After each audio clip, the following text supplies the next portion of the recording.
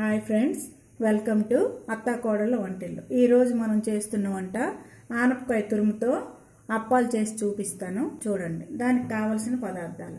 ఒక చిన్న ఆనపకాయని గీసుకొని చిన్న ముక్కని గీసుకొని ఇలాగ తురుముకోండి. తురిమిందంతో కొంచెం దానికి సరిపోయినంత ఒక టేబుల్ స్పూన్ అంత వరిపిండి కారం ఒక స్పూను పసుపు ఒక హాఫ్ టీ స్పూను సాల్ట్ కూడా హాఫ్ టీ స్పూను. కొంచెం ఒక స్పూను టేబుల్ స్పూన్ అంత శనగపప్పు నానబెట్టాను బాగుంటుంది. శనగపప్పు ఇది కరివేపాకు అల్లం వెల్లుల్లి పేస్ట్.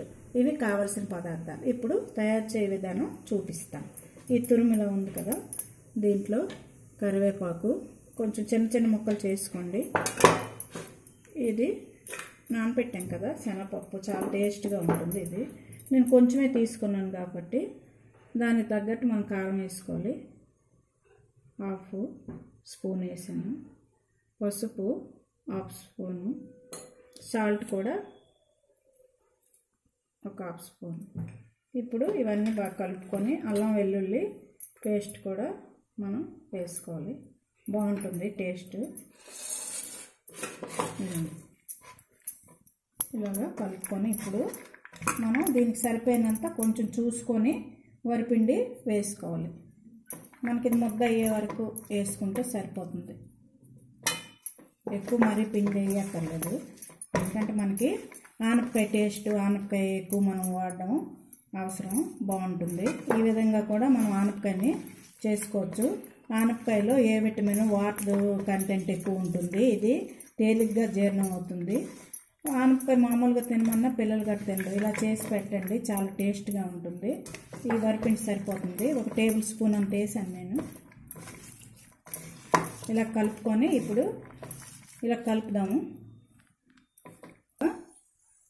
ఉండలు ఇలా చేసుకున్నాను. ఆయిల్ పొయ్యి మీద పెట్టుకున్నాను కదా. ఇప్పుడు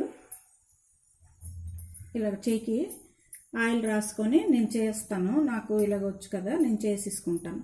మీకు ఇలా రాలేదనుకోండి పాలు కవర్ మీద కానీ అరిటాకు ఉంటే అరిటాకు మీద కానీ పెట్టుకొని ఒక ఏదైనా ప్లేట్ ఉంటే దాని మీద ఆయిల్ రాసి పేపర్ వేసి అదే పోలిథిన్ కవర్ వేసి మళ్ళీ ఇలా నొక్కారంటే మీకు ఇలాగ వస్తుంది.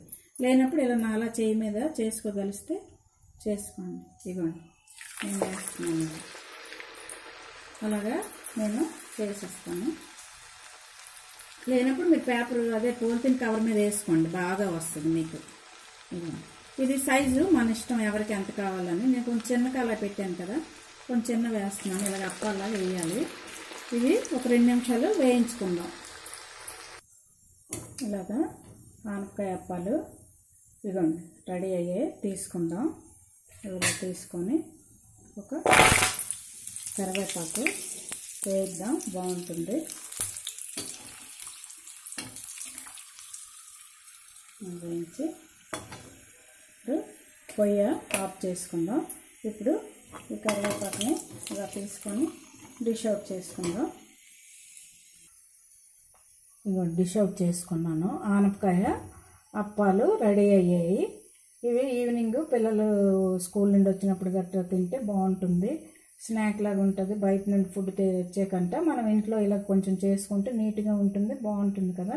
ఎక్కడ మనం వేసుకున్న ఆయిల్ అన్నీ మంచిగా ఉంటాయి కాబట్టి బాగుంటుంది. ఇలా చేసి చూడండి. ఈ వీడియో మీకు నచ్చినట్లయితే లైక్ చేయండి షేర్ చేయండి సబ్స్క్రైబ్ చేయండి. Okay thank you.